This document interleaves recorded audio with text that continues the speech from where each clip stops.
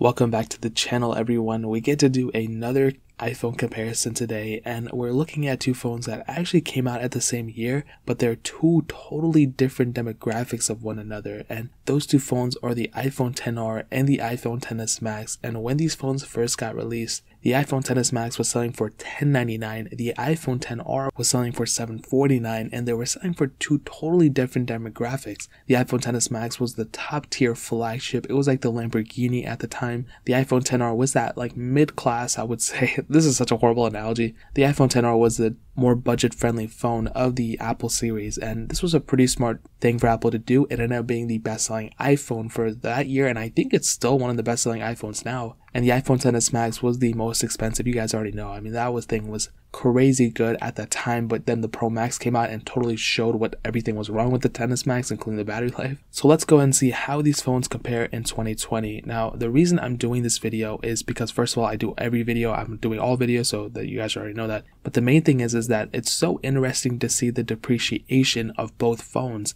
Now, the iPhone 10s Max is not being sold in the Apple stores anymore, so there's no way to actually like verify the price in the used market. They're just kind of going by what other people are selling them for, and of course they depreciate in the long run. But the iPhone 10R is still being sold in the Apple store, and brand new, that phone is selling for 599. The iPhone 10s Max right now on Amazon is selling for about 600. on ebay it's about 560, but in most other cases it's about 600-ish. so you're paying you know only a little bit more for a 10s max in the used market versus a brand new iphone 10r but on Amazon, the iPhone 10R is selling for, for about $437. So a little bit of a difference right there, about a $200 difference. So let's see which one is worth it in terms of your money in your pockets. Was that a good thing to say? I don't know. Now the iPhone 10R on the front has a 6.1 inch liquid retina display. That one is 828 by 1792 and it is an IPS panel and it's not OLED or anything but I think at the end of it it still has a pretty decent panel. I think we kind of gave it like a lot of flack when it came out first but I think now it's kind of held up and it's definitely showed its stuff and I think it's definitely held up for the most part and I think the iPhone 10s Max obviously has a better panel but the iPhone 10R is still good enough in my opinion the 10s Max though has a 6.5 inch Super Retina OLED display. That one is 1242 by 2688 and obviously the 10s Max has the better panel. Not only is it bigger, which more people might like, but there's less bezel on the front and it just looks better and feels better in the hand. But the 10s Max's panel for sure is better than the iPhone 10R, but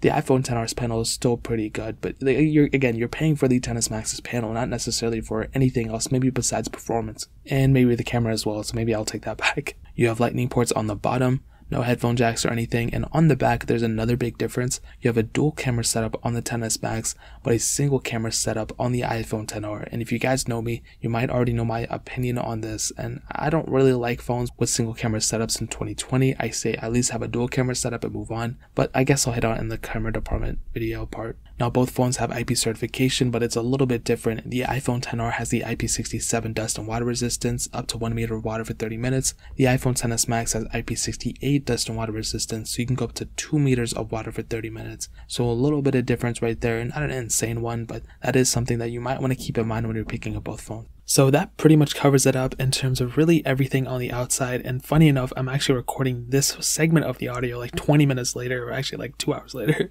Now, moving on to the software side of things, there's a little bit of difference here that you guys probably already know, but it's pretty much the exact same thing. So the iPhone 10R got released with iOS 12, and the iPhone 10s Max got released with iOS 12, and there's really nothing too different between them. They have the same chipsets and everything. So primarily, they're really going to get the same exact software updates, which is isn't a bad thing, that's actually a really, really good thing. But in the future, the only issue I kind of see is the checkra1n jailbreak, and even more so than the checkra1n jailbreak is just jailbreaking in general. The devices from about the 5S to the iPhone 10 are really the easiest devices to jailbreak right now. The devices after those, like the 10R, 10S, and 10S Max included, these ones are the harder ones to jailbreak. But the thing to keep in mind is that right now the unc0ver jailbreak is actually going to be compatible again with iOS 13.3, and that is one of the latest versions that's still being signed today as of me making this video, but it's probably going to be unsigned very, very soon. So that's one humongous thing to keep in mind. If you're interested in jailbreaking, go down to 13.3,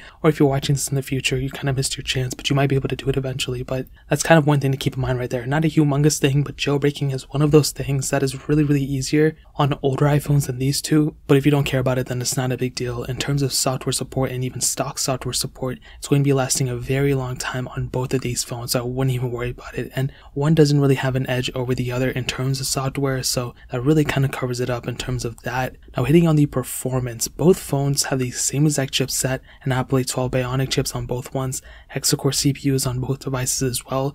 So in terms of the performance, they're going to be about the same, but the really main differences is in terms of the RAM. So you have 3 gigabytes of RAM on the iPhone 10R on all three models, the 64, 128, and 256 gigabyte models, whereas on the iPhone XS Max, you also have three storage models, the 64, 256, and 512 variants, but you have 4 gigabytes of RAM on all those models. So you have additional RAM on the iPhone XS Max over the iPhone 10R, which might be a big deal to you. Some of you guys might care, but in terms of real world use, what I've been able to see is that both phones are extremely fast. You know, one doesn't necessarily feel faster than the other one. What I can tell you is in terms of the RAM management, there is a little bit of difference. I have found that my iPhone XS Max does have a better job and does give me a better job at RAM management over the iPhone 10R. It's not a deal breaking thing, it's not a crazy thing, whatever, but it is one humongous thing to keep in mind. Whenever I use the iPhone 10R, it's always smooth, it's always fast. Really, anything I throw at it, it does a great, tremendous job at it.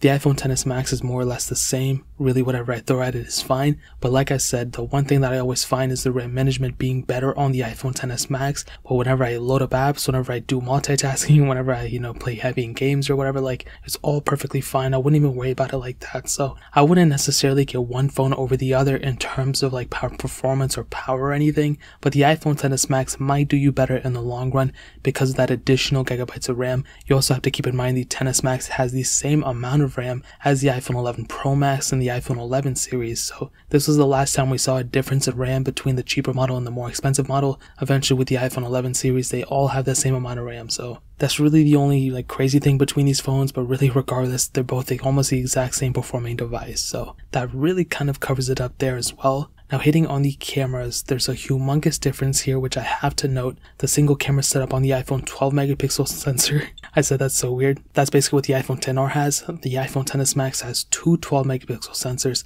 a wide angle lens and a telephoto lens. And on the front, 7 megapixel cameras on both. They can go up to 1080p at 60 frames, which is really nice. So pretty much the exact same camera sensor on the front of both of these. But on the back, that's where you see the main difference. You have a dual camera setup on the iPhone XS Max and you can do 4K at 60 frames frames both, and really the quality is about the same, I'll be honest. But you have to keep in mind that, as I've said in other videos and as I'm saying now, you have to at least have a dual camera setup in 2020. Like, I understand quality is important, and it is very important, and sometimes it is more important than hardware, but it's better to have both. It's better to have a great quality camera and extra camera sensors than just having one or the other. But I would still rather pick up a dual camera or triple camera setup, whatever I can get my hands on, over a single camera because in 2020, that's one of those things that's really evolved evolving, not just having a single camera lens, but having multiple and multiple camera sensors. So it's not a big deal. It might not be a big deal to you, but it's a very important thing for the longevity of a phone. And if I'm being honest, that's one of the things you have to keep in mind. So even if the quality was the same on both, I still feel like the XS Max still has the better camera setup, but also the huge advantage of having that extra camera sensor. It's not a deal breaking thing, but if you can do it, I would way recommend doing it. So between the camera sensors on both, the iPhone XS Max definitely has the advantage there, but the iPhone 10R is still a very good camera sensor at the end of the day. So that kind of covers it up there. Now ending it off with the battery life, the iPhone 10R has a 2942 mAh battery, the iPhone XS Max has a 3174 mAh battery, and between them both, they both have pretty good battery life, but the iPhone 10R definitely has a huge advantage here. The iPhone 10R has the better battery life in my opinion. You're getting way better battery life, but you're also getting a lower resolution screen and technically lower performance, so that really does aid in the battery life department. It's funny because we expect to have better performance and that just means it's a better phone overall, but that's not necessarily the case. The iPhone XS Max has a bigger screen and is technically more powerful than the iPhone XS Max as well, and the screen is high resolution, so you have to kind of keep that in mind. So between them both, they both have pretty decent battery life combined, but the iPhone XR definitely has a better battery life between them. So to kind of sum up the video and to answer the question, should you pick up an iPhone 10R and save some money, or should you spend some more money and get an iPhone 10s Max? In my opinion, I would probably end up spending more money and getting an iPhone 10s Max, but that's just me. I like having a bigger phone if I can get my hands on it. But it really, I, I think the iPhone 10R is still really like up there with the iPhone 10s Max. The 10s Max was a 10 out of 10. The iPhone 10R is probably like a 9 out of 10 in my opinion. Really, it's only lacking the OLED display. And that extra camera sensor. Other than that, even the performance isn't that big deal to me because it's still a very good performing phone. Between both of them, I would probably give the edge to the iPhone 10s Max. But if you want to save some money and if you have to buy it brand new, the iPhone 10R is probably a really, really good way to go as well. But on top of that, the iPhone 10R is cheaper in the used market than the iPhone 10s Max. So I would highly recommend you picking it up in the used market for sure. You'll save some money and you'll end up getting almost the exact same phone at the end of the day. So like I said, if you want to pick these phones up for the prices that I said early on in this video, you can go down in the description, click the first couple links down there. They'll take you to Amazon. You can get it from there and you can help support the channel at the same time. But that is pretty much it. If you guys have any other questions or anything, let me know in the comment section below. Hit that like button, that would mean so much, but definitely hit that subscribe button. Every single subscriber that we get really does count, so it means so much if you guys could hit that. Also check out the other links down in the description as well. My Twitter, my Instagram, my second channel, all those links are linked down below. I'd really appreciate if you guys to check it out. More importantly than everything else, I love every single one of you guys. Hopefully I'll catch you guys in the next video. Peace out till then.